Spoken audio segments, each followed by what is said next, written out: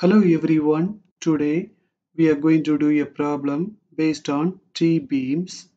In this problem, we need to find the moment of resistance.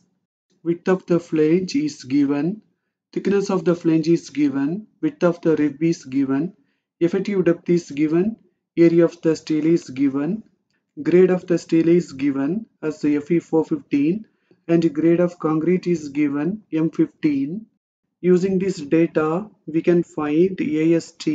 For that, we will get 1256.64 millimeters square. The first step is to find the depth of the neutral axis. First, we need to assume that the neutral axis lies in the flange.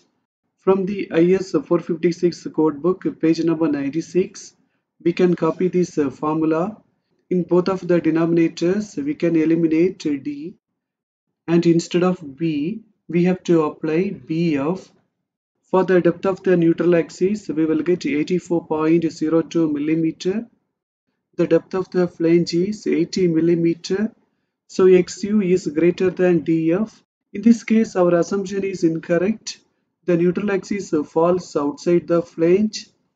Then we need to check whether DF upon D does not exceed 0.2 df upon d does not exceed 0.2 but still we need to follow the clause g 2.3 let us assume that df upon xu does not exceed 0.43 for fy 415 xu max upon d is 0.48 d is 560 0.48 into 560 we will get 268.8 millimeter let us keep this way. XU max is greater than XU and XU is greater than DF. We know that the summation of compressive forces is equal to the tensile force. We need to know the formulas of C1, C2 and T but it is difficult to memorize them. So let us see how to take them from the code book as a shortcut.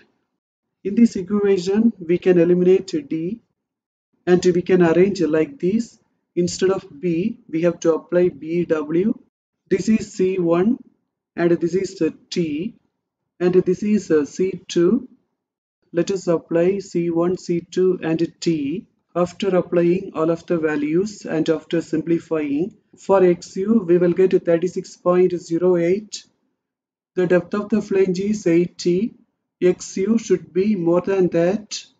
Also for DF upon XU we will get 2.21 which is more than 0.43 initially we assumed that df upon xu is not greater than 0.43 this assumption is also incorrect.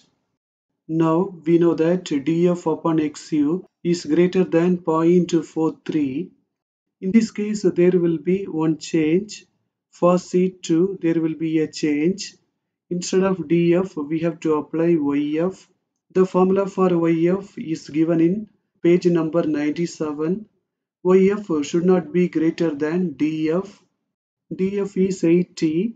In this formula, we can apply that so that we will get this. Let us apply C1, C2 and T. In this way for XU, we will get 90.29 millimeter. We know that DF upon XU should be more than 0.43 in this one we can apply the value of xu so that for yf we will get this which is not greater than df when df upon xu exceeds 0.43 we need to use the equation in g 2.2.1 that is this one. Here instead of xu max we have to apply xu so we have to apply xu you can see that i have applied xu in this one we can apply all of the values so that we will get this we can divide this by 10 power 6 so that we will get the value in kilonewton meter.